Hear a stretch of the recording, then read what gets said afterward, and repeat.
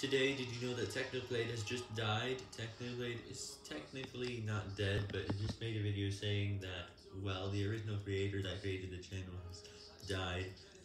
And I, am not sure exactly how that happened. I'm gonna see the videos reacting to him, and there's a lot of videos like this, and I really hope it gets picked up by YouTube because, well, you know why I'm making this video.